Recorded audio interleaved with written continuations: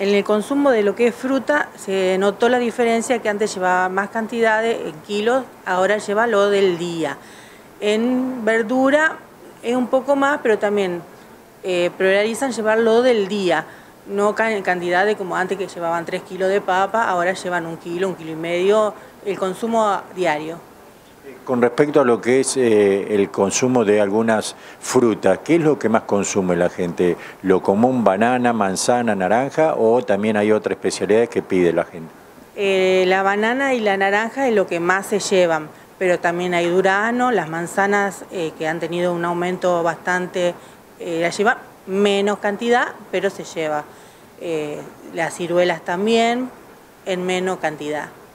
La gente ahora ha optado por lo que es una alimentación saludable, mucha fruta, mucha verdura. ¿Se notó eso en el mercado? Sí, la gente se nota que o que está haciendo alguna dieta por las frutas que lleva, que kiwi, que es el que más se nota en las dietas diarias de la gente, que está caro, pero bueno, se lleva uno o dos eh, para el consumo. Bueno, además de lo que es fruta y verdura, también tienen eh, artículos de despensa.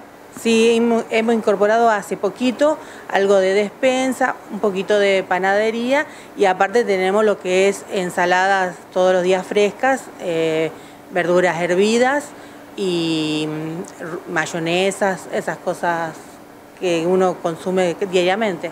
Bueno, ¿Y la atención en qué horarios están atendiendo, días y horarios? Eh, a las 8 de la mañana hasta, la, hasta las 13 y de 17 a 21, 21 horas.